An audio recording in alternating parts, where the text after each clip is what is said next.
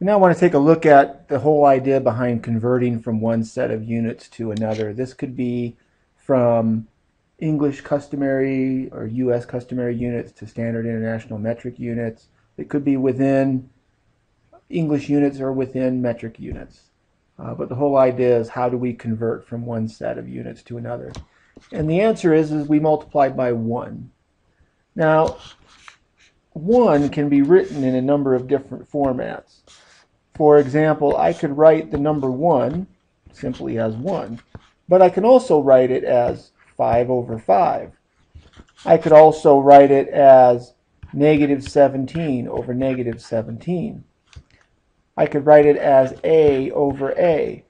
The idea is that in all of these cases, the numerator and the denominator are the same. So if I were to say that 1 was q over r, then we would be required to have q equal to r. So q over r is equal to 1 if and only if q is equal to r the numerator is equal to the denominator. But that's what we're going to do in the case of unit conversions. So let's take an example.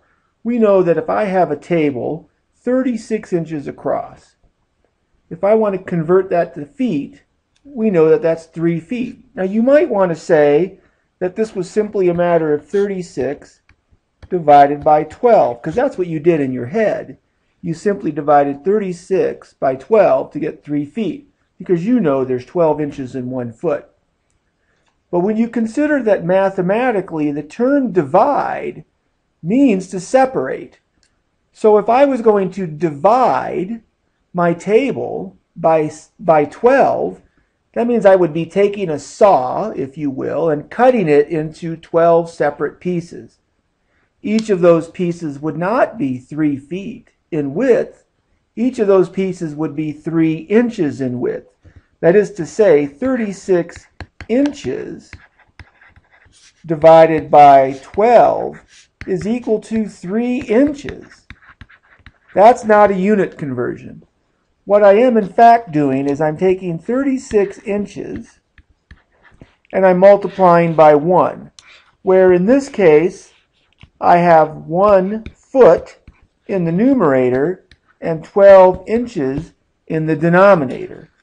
And so what you're seeing here is the numerator, 1 foot, equals the denominator, 12 inches. Now numerically, this works out to be 36 times 1 all over 12. That's where the 3 comes from. But we're not done at that point. We also have units, and units are also going to be part of the arithmetic operation of multiplication here and division.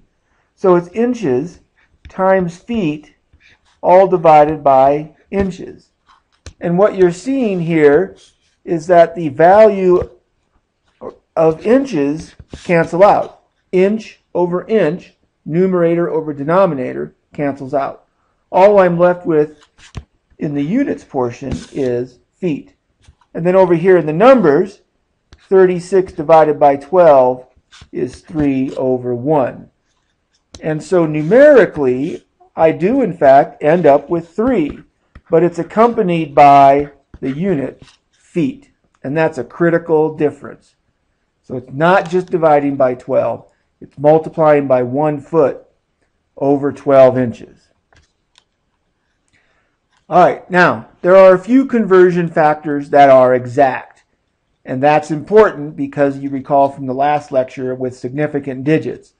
The number of significant digits in each of these unit conversions is infinite.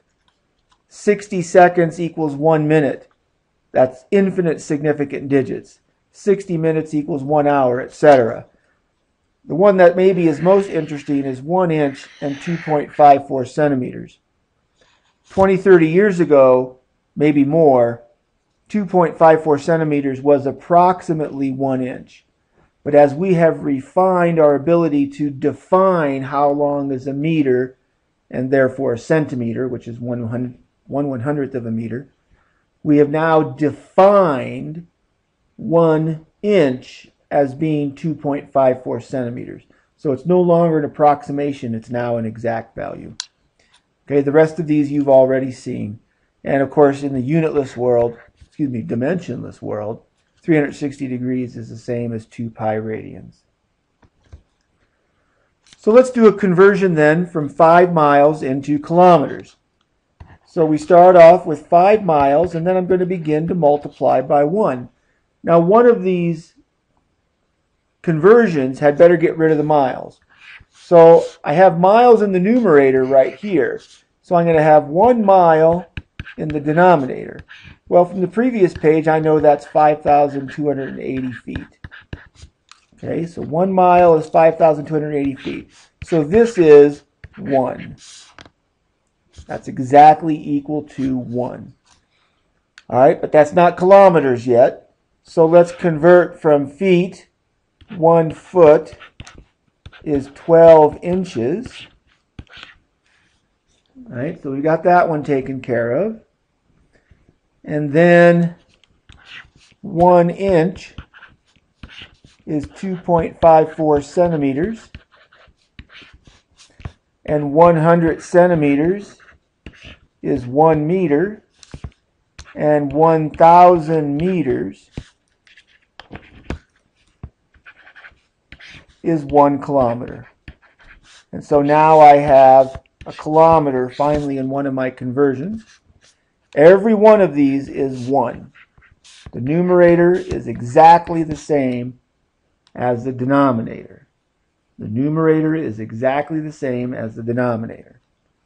So now we see that the miles cancel, feet cancel, inches cancel, centimeters cancel, meters cancel, and the only unit left over is kilometers. So we're good there. Then numerically, I have 5, 5,280 over 1, 12 over 1, 2.54 over 1, 1 over 100, and 1 over 1,000. And so if I work out all of those multiplications in there, so I'm going to take 5 times 5,280 times 12 times 2.54 and then divide that by 100 and divide that by 1,000. And when I'm all said and done, I end up with 1.247 244 09449. That's what my calculator is telling me. And of course, my units come down, and that's kilometers. So 5 miles equals 1 kilometer if I stick with one significant digit. And I've clearly made a mistake in here. So let's try that multiplication again.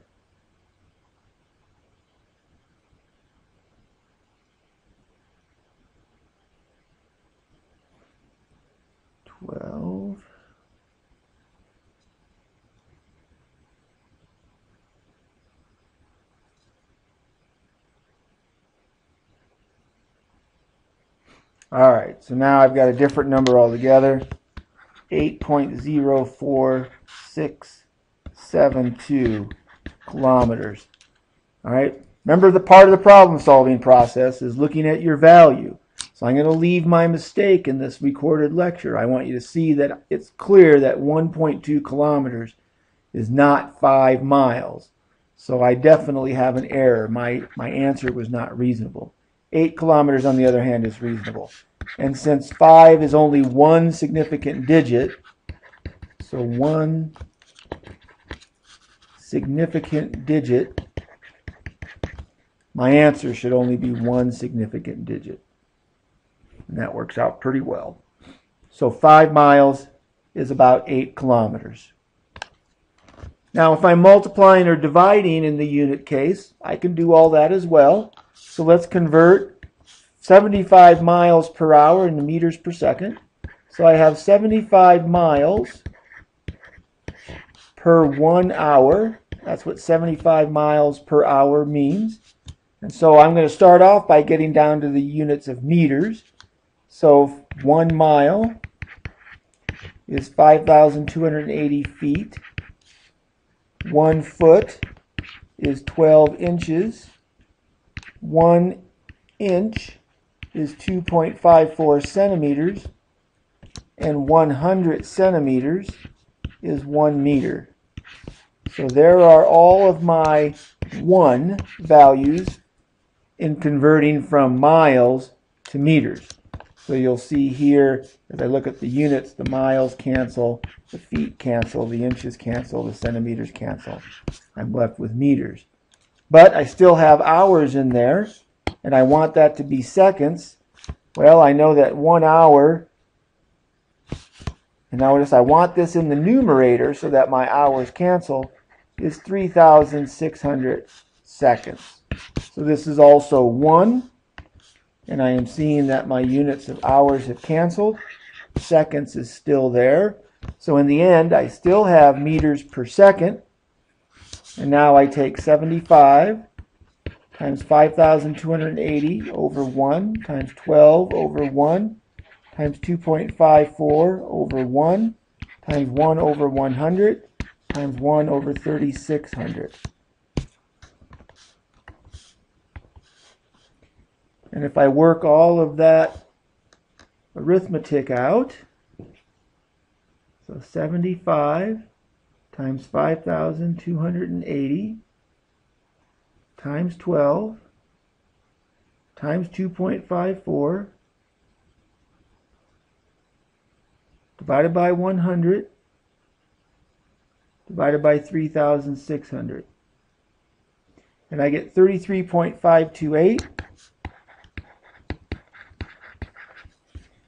meters per second. 75 is two significant digits. So this rounds off to 34 meters per second. And so 75 miles per hour is roughly 34 meters per second.